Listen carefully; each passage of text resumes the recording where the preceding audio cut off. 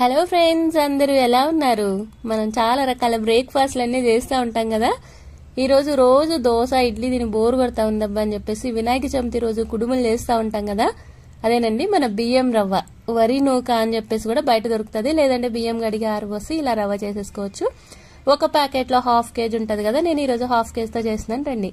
ఒక మందపాటి కుక్కర్ పెట్టేసి కొంచెం నెయ్యి వేసాను ఈ గ్లాస్తోనే రవ్వ రెండు గ్లాసులు తీసుకున్నాను కదా నాలుగు గ్లాసులు నీళ్ళు పోస్తా ఉన్నాను. So one is to two అనమాట వాటర్ ఇప్పుడు దీంట్లో ఈ వాటర్లో కొంచెం కళ్ళుప్పు వేసేసి బాగా మరగనిచ్చేద్దాం. ఇలాగా. సో బాగా కళ్ళుప్పు కరిగిన తర్వాత కొంచెం జీలకర్ర వేసేద్దాం. జీలకర్ర వేసిన తర్వాత ఈలోపు పచ్చెనగపప్పు ఒక మన గ్లాస్లో పావు గ్లాస్ తీసుకొని చక్కగా నానబెట్టి ఒక పావు గంట సేపు ఉడకనిద్దాం పక్కన. నెక్స్ట్ వచ్చేసి మనం ఈ రవ్వ అంతా వేడి వేడి నీళ్ళల్లో పోస్తా ఉన్నాం కదా. పోసిన తర్వాత మూత పెట్టేసామంటే ఒక త్రీ టు ఫోర్ మినిట్స్లో చక్కగా ఉడికిపోతుంది. మీరు కదిపి చూసారంటే ఇలాగ వస్తుంది అనమాట టైట్గా సో సరిపోతుంది ఇంకది మాడనివ్వకుండా టక్కున మనం ఆపేద్దాం స్టవ్. నెక్స్ట్ ఏం చేయాలి అనుకుంటున్నారా? ఈ ఉడికిన రవ్వ అంతా కూడా ఆరనివ్వండి. ఈలోపు మనకి పచ్చనిపప్పు కూడా ఉడికిపోతుంది కదా అది వాటర్ అంతా తీసేసి పక్కన పెట్టుకోండి. ఇలాగా పచ్చిశనగపప్పు మనకి ఉడికిన ఈ రవ్వ ఉంది కదా ఇది చక్కగా బేషన్లో ఆరబెట్టుకొని పెట్టుకున్నాము.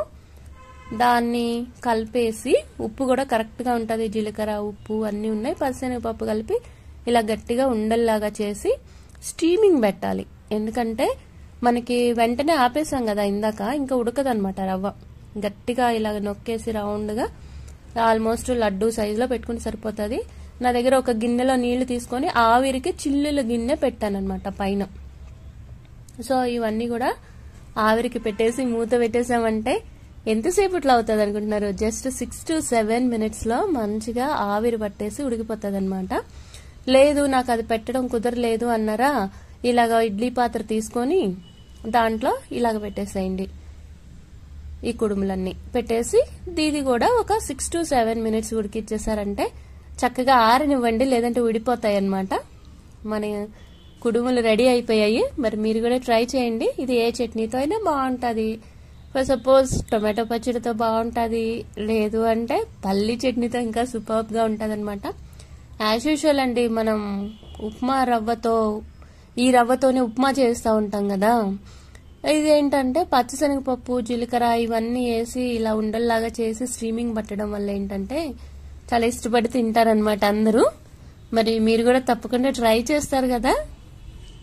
అందుకనే మీకోసం మళ్ళీ చూపిస్తున్నాను. ఎంత ఈజీగా ఉంటుందని చెప్పేసి ప్రాసెస్ అంతా. సో టైం ఉన్నప్పుడు చేసుకోవాలండి ఇది. ఎందుకంటే అలాగ చాలా టైం పడుతుంది. ఒక్కొక్కటిగా చేసి గట్టిగా ఉండలు చాలా గట్టిగా చేసి పెట్టాలన్నమాట. అప్పుడే విడిపోకుండా ఉంటాయి. అండ్ దీంట్లో కొన్ని టిప్స్ నేను చెప్పాలనుకుంటున్నాను. ఏంటనుకుంటున్నారు అవన్నీ? ఏం లేదండి. అవి ఏంటంటే ఆరిన తర్వాతే తీయాలి. లేదనుకో విడిపోతాయి అన్నమాట సో నేను ఈ బేషన్ బేషన్ చక్కగా ఆరబెట్టేస్తాను ఒక టెన్ మినిట్స్. స్టీమ్ పట్టిన తర్వాత. మరి మీరు కూడా తప్పకుండా ట్రై చేయండి. మళ్ళీ ఇదేంటంటారా? నెక్స్ట్ ఇంకొకసారి చేస్తా ఉన్నాం మేము. సరే అండి మరి.